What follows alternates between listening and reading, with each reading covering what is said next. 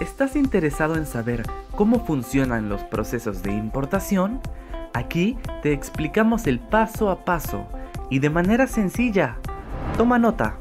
Primero, se realiza una asesoría completa. Es en ella donde se busca conocer toda la información disponible sobre el producto con el objetivo de ver si el proyecto es viable o no en términos de rentabilidad.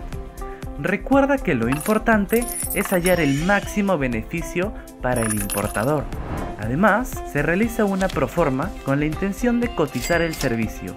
Aquí, factores específicos como el tamaño de la carga, el lugar de procedencia, el medio por el cual se piensa transportar el producto, entre otras variables, son consideradas.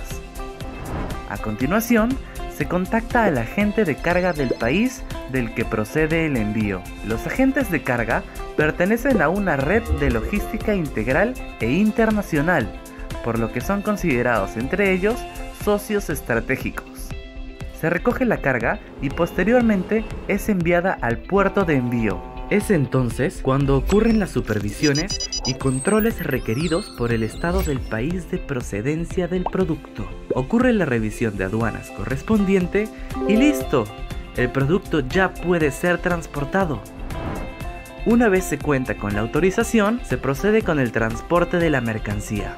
La carga llega al destino y mientras esto ocurre, ambos agentes se contactan para coordinar la recepción y declaración de la mercadería.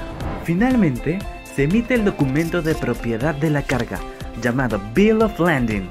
No queremos que alguien más recoja nuestras cosas, ¿o sí?